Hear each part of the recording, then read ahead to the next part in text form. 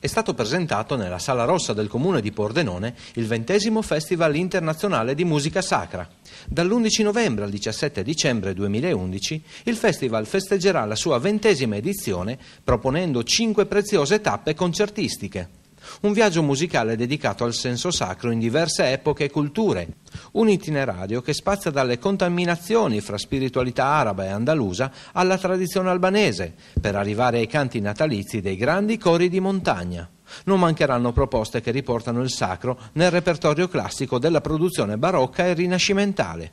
Alla presentazione erano presenti Monsignor Luciano Padovese, il sindaco di Pordenone Claudio Pedrotti e l'assessore comunale alla cultura Claudio Cattaruzza. 20 edizioni sono una bella cifra ed è una data importante, quindi che va rimarcata a testimonianza della bontà della proposta e anche della tradizione della proposta. La finalità che viene da questo festival è innanzitutto questo itinerario attraverso la spiritualità, una spiritualità che non è confinata solamente nella nostra identità, nella nostra cultura, ma spazia anche nella conoscenza, verso la conoscenza di altre culture, come sarà quest'anno il caso della della cultura albanese o di quella della, della, Spagna della Reconquista dei Mori, della parte diciamo magrebina diciamo, della Spagna e quindi questo sarà estremamente importante perché questo contribuisce a far conoscere meglio gli altri ma anche a conoscere meglio noi stessi.